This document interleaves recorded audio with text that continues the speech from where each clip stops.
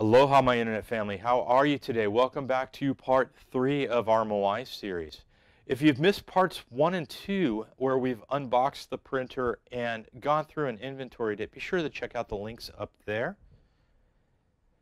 If you're not familiar with the Moai SLA laser printer, there's a link to the manufacturer down below in the comments.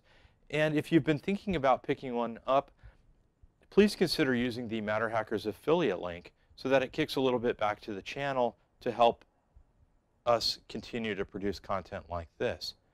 So without further ado, for part three today, we are going to focus on starting to build the box frame for the printer. We're going to go through about the first 10 pages of the online manual.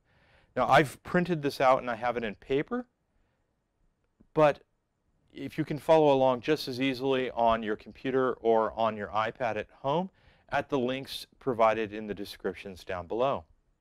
And without further ado, let's go do it.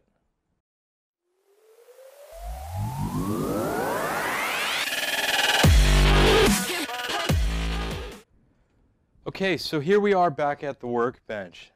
The parts that we're going to need for today's steps uh, per the pages of the manual, we're going to need the side brackets here labeled right 1, 2, and 3 and left 1, 2, and 3.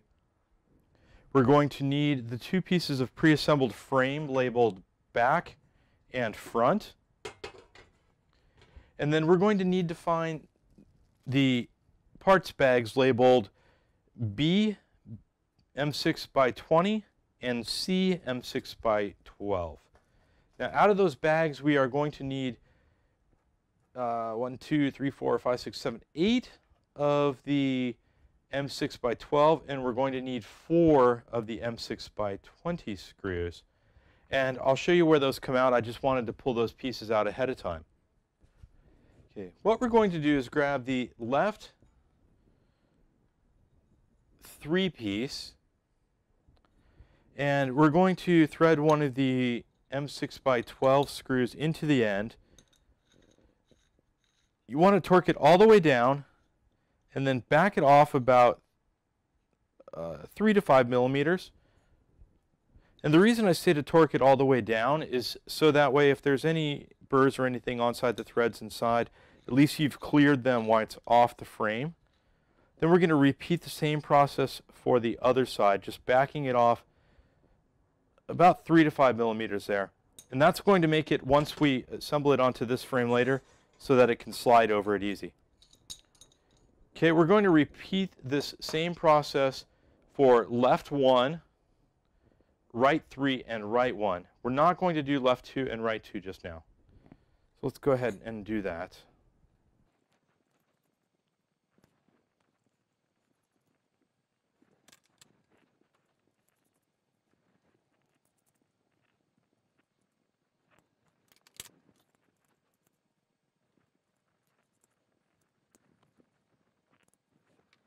Okay, so now we're going to grab the right two and left two pieces.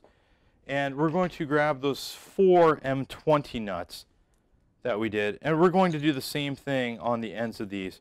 We're going to tighten them down all the way and then just back them off about three to five millimeters on each one.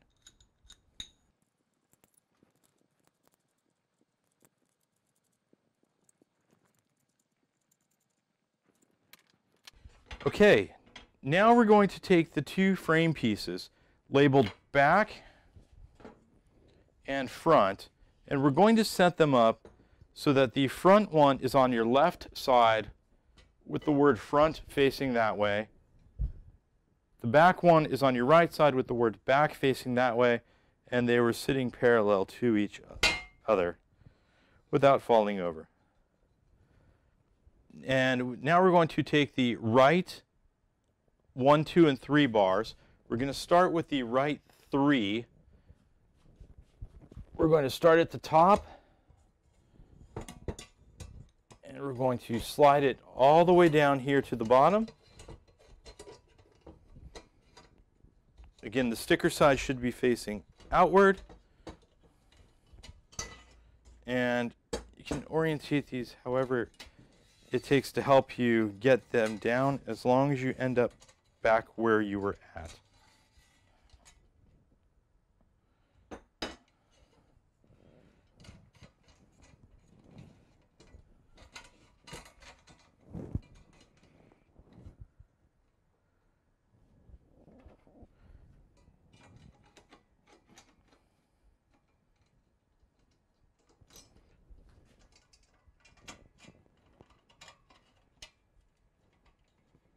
Note I'm not over tightening these down. I'm just trying to get them a little bit of tension on them so that it knows which way to go.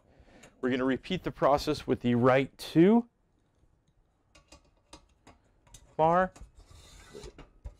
This one we're going to slide down to the middle and then we're going to slide in the right one top. Now I'm going to rotate this this way and again the wrench goes in through the side I'm going to tighten up just enough to keep it from rotating one side and tighten up one side to keep it from rotating. Then we will rotate the frame and we'll do the same thing with the other side.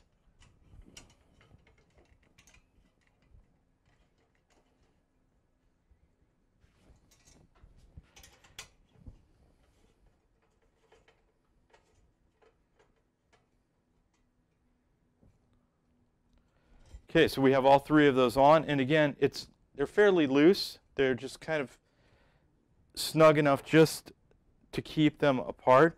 We're going to flip this over, and then we're going to repeat the exact same process for this side, starting with left three at the bottom and working our way up.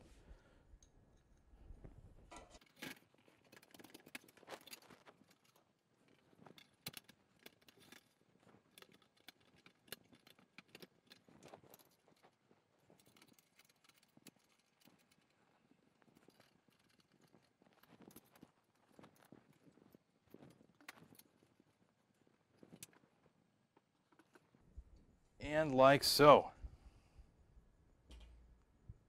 And it is important to stress on all sides the stickers go towards the outside edge. So the front, the right, and the back.